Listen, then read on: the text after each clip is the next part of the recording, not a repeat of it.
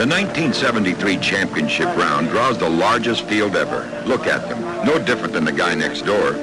But gambling for this lineup is no hobby. It's their profession.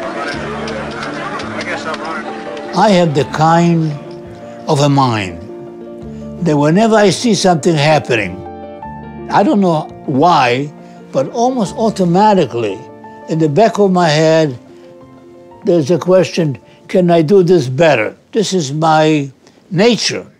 I can't even help myself.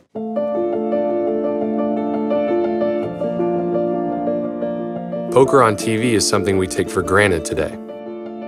Poker After Dark, Poker Night in America, Poker Masters, Super High Roller Bowl, and the granddaddy of them all, the World Series of Poker. The river card is the deuce! The river comes home! It is over here at the Rio. It wasn't always this way.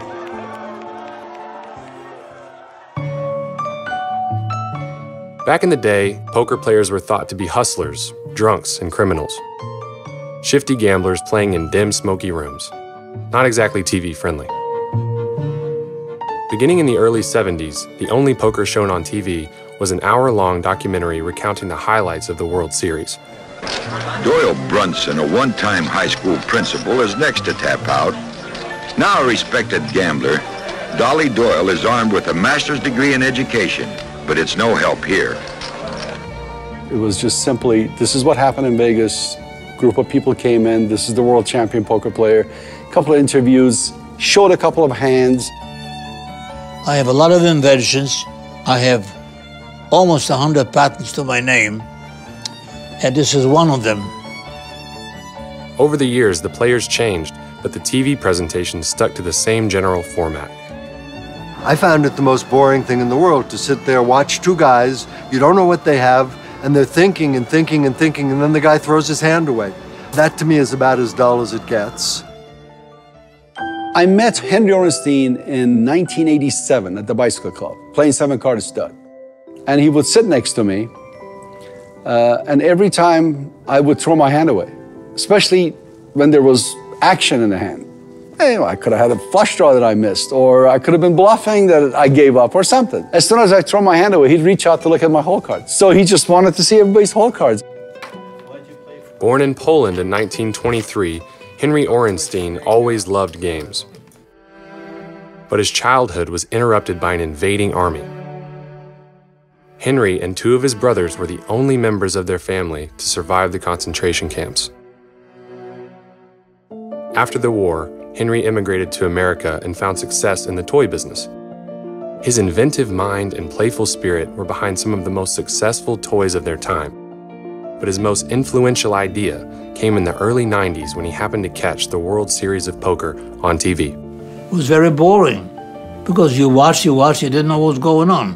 And of course, to Henry, that was unacceptable because he loved the game and he kept thinking that everybody should know what we're doing. Everybody should know there's so much more to play in this game.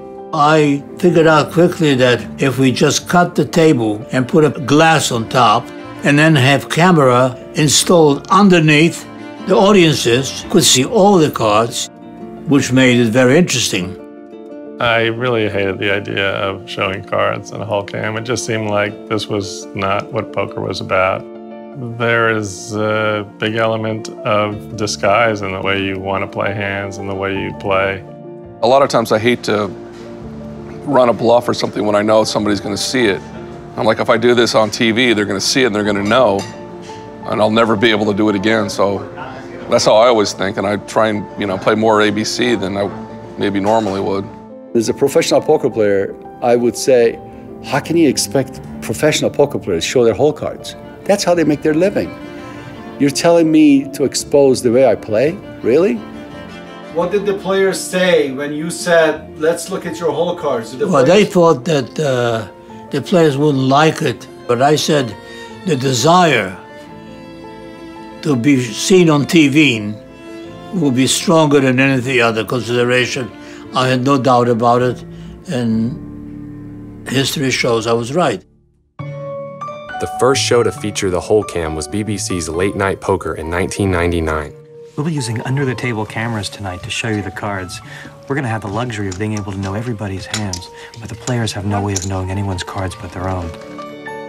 The program was a success, and American producers quickly took notice. Going all in with nothing. A stunning play from Moneymaker, who missed his draws, has nothing, and now has put Sam Farha all in. Is Chris bluffing this time? No. You know, it was like a perfect storm of hole cam being there, television being interested, and all of a sudden here comes the internet and online poker. With poker exploding in popularity, a new breed of player was born the poker celebrity.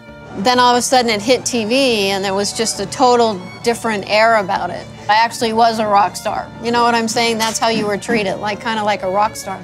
Yeah. And it was it was it was strange.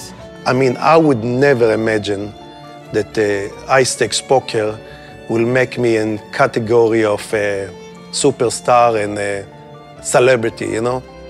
Today, televised poker is evolving along with its industry. A new generation of players and a changing audience call for innovative storytelling. A pioneer in the field, Mori Eskandani continues to find new ways to bring poker to the world. Poker on TV is going to be outlasting my grandkids, your grandkids. You get, just because the game is so amazing. The game itself is just captures everybody's heart and soul. As the inventor of the hole cam, Henry Orenstein has earned his place in poker history. What's the secret for staying sharp at poker into your old age? What's the secret of staying sharp at poker? At your age, Your at age. your age. You eat a pound of raw cabbage every day. What is he? I check. I bet. I call. King's over. Kings and jacks. Tens over. You bet.